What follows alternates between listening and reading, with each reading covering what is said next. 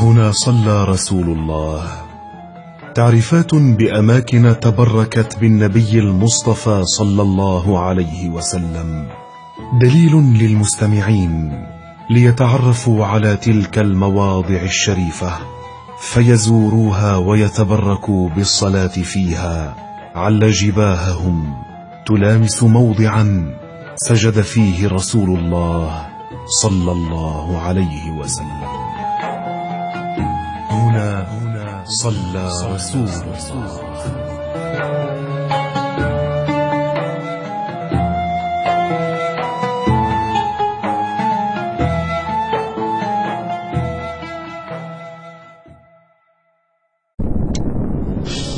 المدينة المنورة. مدينة رسول الله مدينة عظيم الجاه ومن منا لا يعرف ما هي المدينة المنورة؟ وهي كانت وجهة الرسول صلى الله عليه وسلم في هجرته من مكة المكرمة بعد استمرار أذية المشركين له وللمسلمين. ويطلق عليها اسم طيبة وقد كانت أول عاصمة إسلامية كما أنها تعتبر اليوم من أكبر المدن التي تضم أماكن إسلامية مقدسة وفيها قبر الرسول صلى الله عليه وسلم. يا طيبة دار العدنان يا مهوى شوق الركبان يا أم الأنصار ومأوى. من هاجر دار الإيمان. وعند الحديث عن المدينة المنورة بإسهاب يطول الحديث عنها.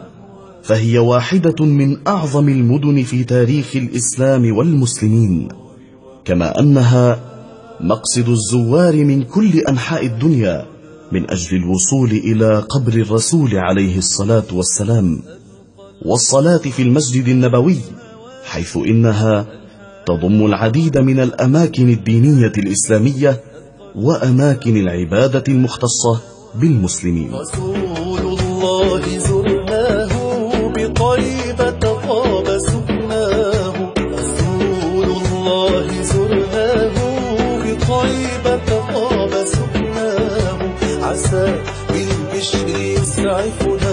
بيوم ويوجد في المدينة المنورة مساجد أساسية قديمة وهناك أيضا عدد من المساجد التي تم بناؤها حديثا ومن أكبر المساجد المسجد النبوي الشريف.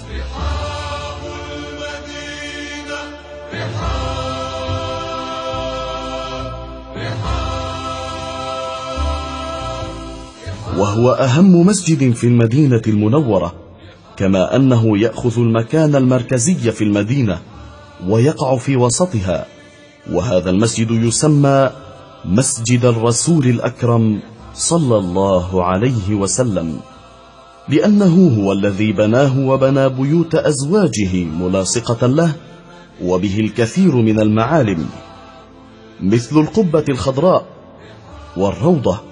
كما أن الصلاة فيه أفضل من الصلاة في المساجد الأخرى سوى المسجد الحرام. فالثواب الذي يناله الإنسان من الصلاة فيه يكون مضاعفا. طيبة أنت بغيتي وغرامي نور مهجتي وهواك بات بهجتي بمحمد طه. مسجد قباء. يعد من أقدم المساجد الموجودة على وجه الأرض كما أنه أول مسجد بني لعامة المسلمين في عهد النبي المصطفى عليه الصلاة والسلام. وقد بني هذا المسجد لما نزل رسول الله صلى الله عليه وسلم في بني عمرو بن عوف وكان عليه الصلاة والسلام أول من وضع حجرا في قبلته ثم جاء أبو بكر رضي الله عنه بحجر فوضعه. ثم جاء عمر بن الخطاب عليه رضوان الله بحجر فوضعه. ثم أخذ الناس في البنيان كما أنه لا يبعد كثيرا عن المسجد النبوي حيث إن المسافة الواقعة بينهما هي خمسة كيلومترات فقط.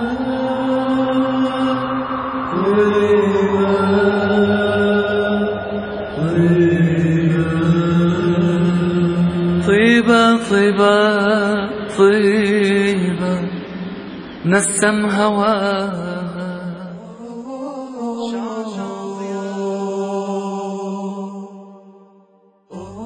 مسجد القبلتين وهذا المسجد واحد من أشهر المساجد في المدينة المنورة كما أن المسلمون يزورونه في مواسم الحج والعمرة وهذا المسجد أخذ تسميته بالقبلتين لأنه صلى رسول الله عليه الصلاة والسلام وأصحابه ركعتين ثم أمر فاستداروا وهم في الصلاة إلى الكعبة وأتى بركعتين فسمي بمسجد القبلتين حيث إن الناس صلوا فيه باتجاه المسجد الأقصى ومن ثم باتجاه مكة المكرمة.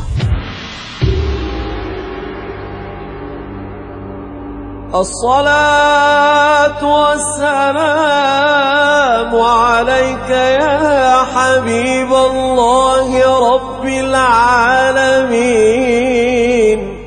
مسجد العنبرية وهذا المسجد أيضا من معالم المدينة المنورة العريقة وتم إنشاؤه في عهد السلطان العثماني عبد الحميد الثاني. فهذا المسجد ليس قديما جدا مقارنة بالمساجد الأخرى. وكان الهدف من بنائه جعله جزءا من مشروع محطة المدينة المنورة الذي كان سيتبع لسكة حديد الحجاز.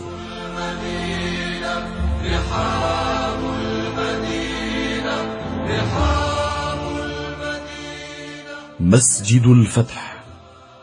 وهو واحد من أقدم سبعة مساجد في الدنيا. كما أن موقعه يأتي فوق السفح الغربي لجبل سلع وهو من المساجد القديمة التي كانت في عهد الرسول صلى الله عليه وسلم. قال السمهودي وتسمية هذا المسجد بمسجد الفتح لأن الاستجابة وقعت به وجاء حذيفة بخبر رجوع الأحزاب ليلا فأصبح رسول الله صلى الله عليه وسلم والمسلمون وفتح الله عز وجل لهم ونصرهم وأقر أعينهم. وكان النبي صلى الله عليه وسلم قد قال لهم أبشروا بفتح الله ونصره كما في مغازي ابن عقبة.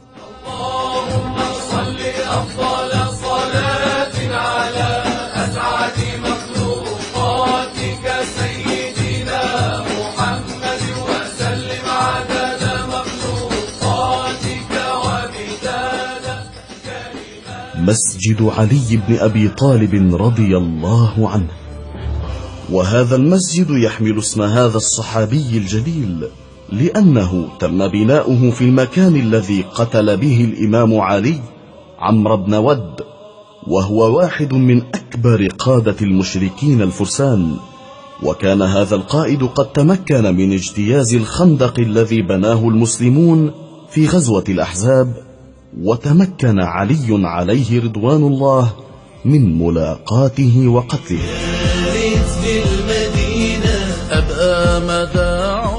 وقد اخترنا التحدث عن مساجد المدينة المنورة لأهميتها ولأننا سنقوم بإعطاء قدر كبير من برنامجنا هذا للكلام على تلك الأماكن والمساجد التي صلى فيها رسول الله عليه الصلاة والسلام.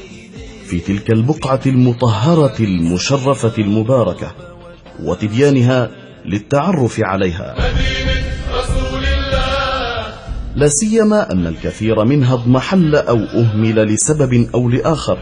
في وقت لا بد فيه من أن يهتم بها الاهتمام البالغ لأنها من الأماكن التي تشرفت وتنورت وتعطرت بموطئ قدمي النبي المصطفى صلى الله عليه وسلم.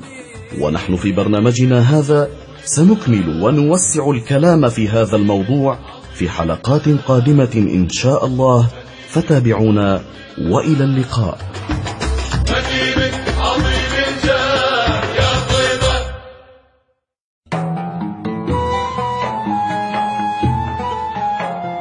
هنا صلى رسول الله.